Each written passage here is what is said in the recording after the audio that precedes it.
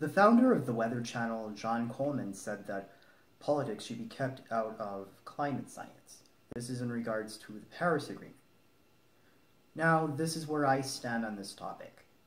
In order to understand climate change, in order to understand global warming, climate science, you must understand what climate is. You must understand what weather is. You must understand what geography is. Climate, that is the average weather that you see over a period of time in a certain place. It takes analyzing weather patterns, the rainfall, the atmospheric pressure, the number of sunny days you get. It is about the long-term atmospheric conditions in a place. It is about the average. Weather is about the conditions, the atmospheric conditions in a certain place at that moment. It's about the short term. In understanding what climate and weather are, and understanding the difference between the two, you must understand that geography can play a big role in climate and weather. Take, for instance, Seattle, Washington.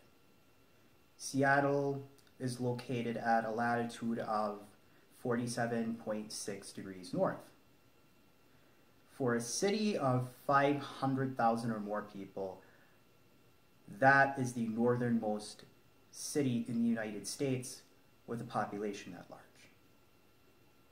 That being said, if you were to go to Seattle in the winter, you would notice that the winter climate in Seattle is not as cold as you would expect for that latitude. You have to understand the role geography would play in that city. You have a city located not that far away from the Pacific Ocean. It's located in between two mountain ranges. And you have certain ocean currents acting. You have the Alaska Current flowing past the state of Washington.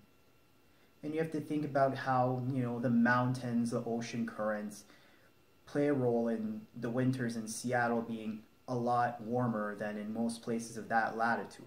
The climate, the weather being affected by the geography.